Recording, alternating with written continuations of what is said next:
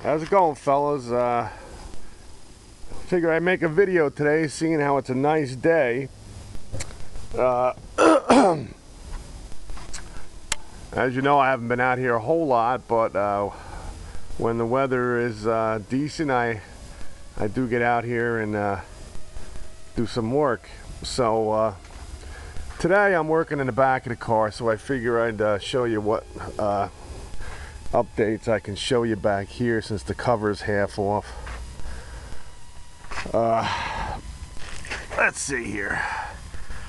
As you can see, hopefully this camera, I know the camera has trouble with the sun here, but anyway, as you can see, I got the back taillight bezels in along with the uh, lenses, all the trim, brand new bumper.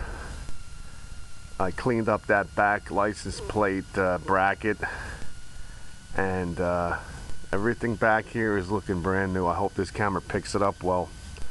Uh, in addition, I uh, I took the tires off. I'm back up on jack stands again, as you can see.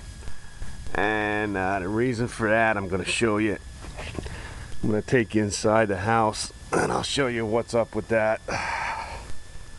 Uh, that's picking up decent. All right. Anyway, what I want to show you is uh, some tires. And uh, I watched a video from HO Motorsports the other day and that kind of got me into making this video because uh, I've been looking for a specific brand of tire for a while now and uh, anyway they're brand new they've been in storage for years they actually still had these stickers on the on the tops of the tires and uh, I got the back tires. I'm looking for the front, but it's going to be very hard to find them because they don't make them anymore. And uh, I actually asked uh, Anthony over there at uh, HO Motorsports if he uh, if he had a set or if he knew where I could find any because I know he dabbles with tires a bit. And uh, well, he couldn't uh, help me out, but anyway, I'm going to show you these tires and I'm going to show you what I'm up to and what I'm trying to accomplish here, and what I'm trying to get as far as these tires are concerned. All right. These tires here are brand new, old stock ProTrac 60s with uh, raised white letters, okay? These tires were made late 70s, early 80s, this particular brand of tire.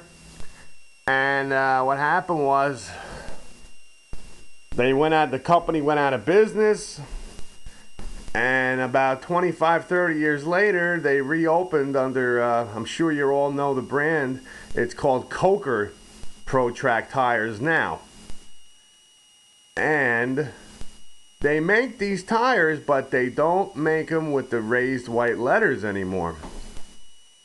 Okay? And that's what I wanted because I had them when I was a, you know, when I had my first Chevelle back in uh, the late 70s. And uh, I just wanted another set. I really like the tires. Uh, I know they're only bias ply, but I liked them. They look nice. They ran nice. They gave me good service and I just wanted what I had back in the day. So it's like a million in one shot that I could ever find these. Uh, brand new, never ever mounted on rims. And I hope the camera can pick it up. Hang on a second.